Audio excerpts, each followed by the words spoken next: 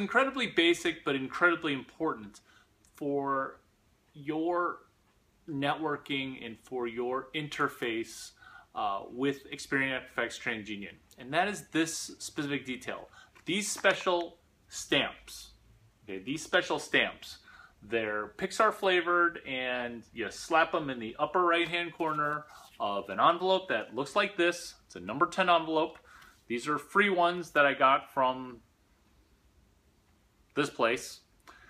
So what you do with these stamps is you don't want to just get the ones at the grocery store. You actually want to get these United States Postal Service stamps from the USPS store on eBay.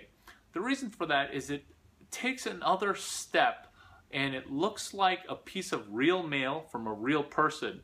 Sort of looks like a female uh, because they're kind of girly stamps. So if you're a guy, you should definitely use this. And the reason for that is that you want that piece of mail, which by law, Experian Equifax TransUnion, uh, Chase, Victoria's Secrets, uh, PO Box in Columbus, Ohio, these these credit institutions are required to answer and uh, deal with a piece of paper mail.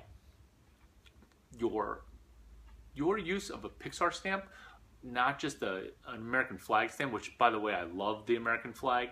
I just don't recommend using it on a postal stamp in uh, networking and interfacing and uh, communicating with the oligopoly of credit bureaus. And the reason for that is you want to add an extra level of personability. The other thing that you're communicating to them is that you're getting mentored by Larry Chiang. And when that happens, the credit bureaus absolutely just fold because they know that you are listening to a person who is leveraging the Fair Credit Reporting Act.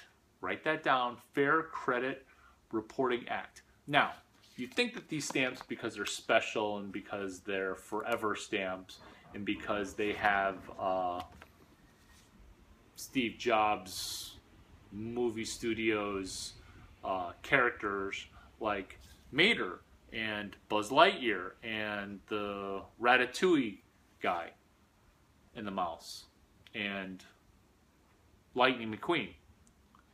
You think that they would cost extra. They actually cost the same. And the US Postal Service, they don't charge you shipping. So you actually get these stamps uh, at face value. And you're actually buying something for less because right now they're 49 cents. In the future, it's going to cost like a buck or two to send uh, one envelope full of stuff to the credit bureaus. So when that happens, you've locked in 49 cents because it's a forever stamp. That's what part of the 31 envelopes method is, is you want to use stamps and there's stamps that are made in the USA, but you just want to use a specialized stamp that is unavailable uh, at the Safeway.